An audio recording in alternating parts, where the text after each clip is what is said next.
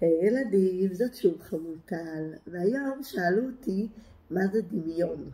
וחשבתי איך להסביר לכם מה זה דמיון. אז אני אתחיל, כשאנחנו רואים מכונית עוברת ברחוב, זאת מציאות. כשאנחנו יושבים ואוכלים ארוחת ערב ויש לנו מלפפון וחביתה בצלחת, זאת המציאות. אה, כשאנחנו שוכבים בתוך המיטה שלנו, זאת המציאות. מה זה דמיון? אנחנו יכולים לדמיין שבתוך הצלחת שלנו, לדוגמה, יש אוכל של דינוזאורים. וזה לא באמת, אבל אנחנו מדמיינים את זה.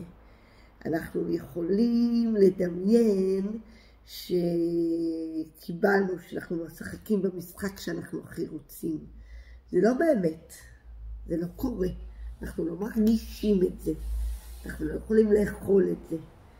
אבל אנחנו, זה קורה לנו בראש, אנחנו מדמיינים את זה, אנחנו רואים את זה בראש. אה, איזה עוד אפשר, דברים אפשר לדמיין? אנחנו יכולים לדמיין דברים שיקרו לנו בעתיד, איך נהיה כשנהיה בכיתה א', אה, אנחנו לא יודעים איך זה יהיה, אנחנו יכולים לדמיין את זה. ההבדל בין דמיון למציאות זה, מציאות זה מה שקורה, זה משהו שממש אנחנו אה, יכולים לחוש, יכולים לגעת. אה, הדמיון זה דברים שהם לא קורים, הם יכולים לקרות בעתיד, הם לא קורים עכשיו. אה, אני מקווה שזה עזר. נשיקות.